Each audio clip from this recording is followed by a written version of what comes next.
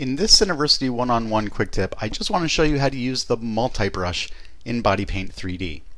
Now I have uh, a color texture, a luminance texture, a bump map, and in the reflectance I also have my uh, the same color map that's in my color channel.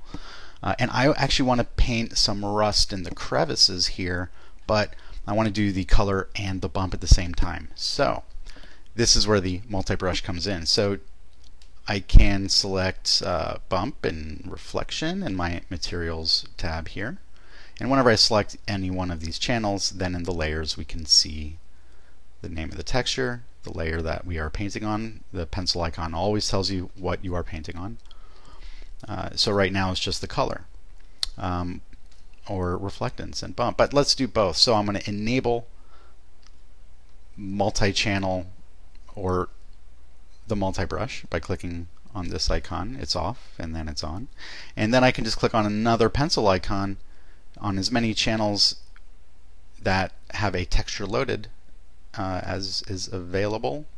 And uh, so I got reflectance or the color and bump. Great. And I already have a, a color uh, for my reflectance brush and then in my bump brush I have a uh, grime map.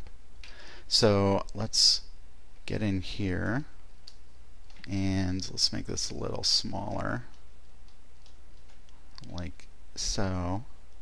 And now you can see I'm painting both color and bump at the same time. I really like to do this however with projection painting. So I'm just undoing that and let's uh, go ahead and enable projection painting.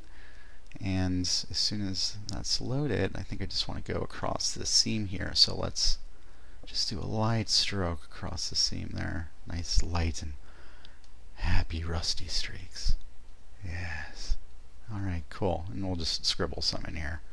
I don't want to put too much time into this. I just sort of want to show you uh, how you can start uh, moving around and exploring this yourself. So great, that's in there. Now let's check this out in the textures so we can see I got my grime or my rust here. That's uh, um, I just painted and then in the color channel I got the same deal and that is the multi-brush. Anyway, I hope you guys have fun with the multi-brush. Um, you know, explore it with all the other channels like alpha, transparency, uh, roughness in your reflectance. Anyway, have fun. Hit us up in the forums if you have any questions. If you're interested in personalized training or project assistance, visit cineversityoneonone.com and visit cineversity.com for more great tutorials and resources.